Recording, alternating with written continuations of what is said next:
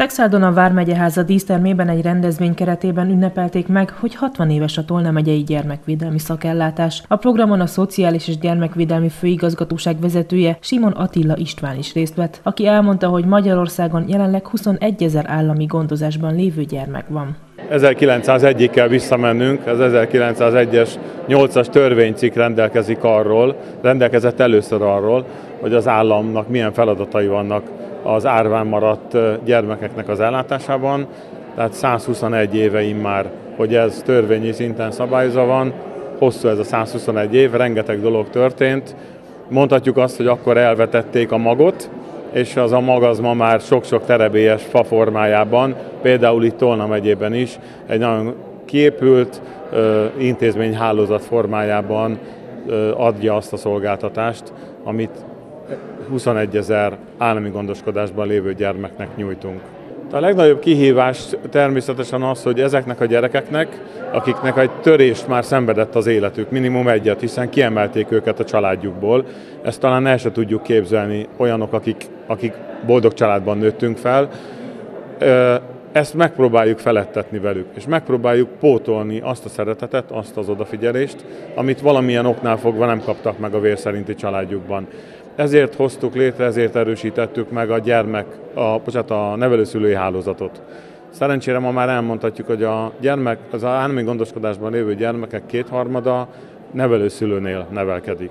De van, mindig is lesznek valószínűleg olyan gyermekek, akik nem találnak nevelőszülőre, nekik azonban az intézményi elhelyezést kell megoldanunk, és ennek az intézményi elhelyezésnek is a lehetőségekhez képest leginkább hasonlítaniuk kell egy családi légkörhöz. Ezek most jelen pillanatban a lakás otthonok, ahol 8-10-12 gyermek él, egy nagyjából egy társasház méretű, bocsánat, egy családi ház méretű házban, egy-két, max. három ágyas szobákban, tehát próbáljuk, próbáljuk mind a környezetet, mind pedig nyilvánvalóan az odafigyelést, a szeretetet illetően is reprodukálni azt, amit, amit egy család tud nyújtani egy gyermeknek. Az állam legfőbb feladata nyilván a szabályozás, és az, hogy ezt a rendszert működtesse. De ez nem azt jelenti, hogy az állam tartja fenn feltétlenül ezeket a lakásotthonokat, ezeket a gyermekotthonokat, vagy például a nevelőszülői hálózatot. Ez utóbbiról például tudom mondani, hogy tavaly, év tavaly év, július 1-ével a, az összes nevelőszülői hálózat az valamilyen egyházi fenntartásba került. Az állam ma befogadó otthonokat, lakásotthonokat, gyermekotthonokat, utógondozói ellátást biztosít, mint fenntartó, és természetesen a finanszírozását, a szabályozását azonban az összes többi ellátásnak is meg kell, hogy teremtsük, hiszen alaptörvényi kötelezettség, hogy az állami gondozásba kerülő gyermekeknek az ellátását az államnak kell valamilyen módon biztosítania.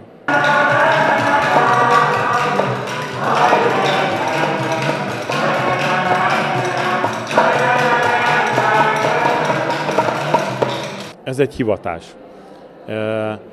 Itt aki, aki nem érzi azt a mérhetetlen alázatot, odaadást, szeretetet, türelmet, ami, ami kell ahhoz, hogy ezt a leg, legmaximálisabban át tudja adni ezeknek a gyerekeknek, az, az ne válassza ezt a pályát. Tehát ide, ide ö, olyan gyerekek kerülnek, akik sokszor több, többféle típusú problémával küzdenek, és ezekhez a problémákhoz biztos, hogy egy nagyon komoly elhivatottság és nagyon komoly akaraterő kell, hogy ezt az ember tényleg szívbel és lélekkel tudja csinálni.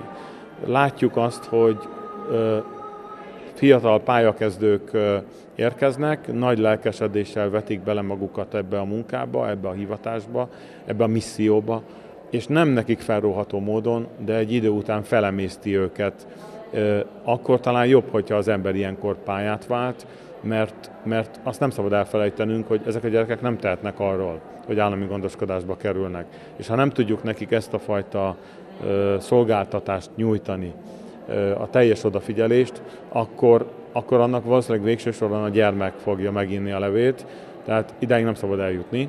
Ha valaki úgy érzi, hogy már nem képes erre a maximális odafigyelésre, akkor, akkor tényleg azt gondolom, hogy jobb, hogyha a, inkább más hivatást keres magának. A jövőbeni célok között szerepel, hogy minél gyermekközpontúbb legyen a szolgáltatás, amit a rendszer nyújt. Tényleg minden elemében a gyermek legyen a központban. Jó volna, hogyha ezek a most ugye 48 főben van maximálva a gyermekotthoni létszám. Értelemszerűen azt szeretnénk, hogyha ezek a gyermekotthonok is eltűnnének, és 12 főnél nagyobb létszámú egységeink nem lennének, ugye ezt hívjuk most lakásotthonnak. A legjobb természetesen az lenne, ha minden gyermek családban tudna felnőni, még ha nem is a vérszerinti családjában. Tehát az irány az egyértelműen ez. És annyira érdekes, hiszen a általam is idézett 1901-es törvény már akkor azt mondta, hogy az, amikor az állam belép egy ilyen gyermek ellátásába, akkor ideglenesen persze elhelyezi, magyarán fedélt ad a feje fölé, de azzal párhuzamosan meg kell próbálni vagy az ő vérszerinti családját felkutatni és oda-vissza gondozni, vagy pedig a mai fogalmaink szerint egy nevelőszülői ellátásban részesíteni. A főigazgató hozzátette, hogy bár eltelt 121 év az első gyermekvédelmi törvény meghozatala óta, a cél még mindig ugyanaz, hogy minden gyermek egy szerető családba kerüljön.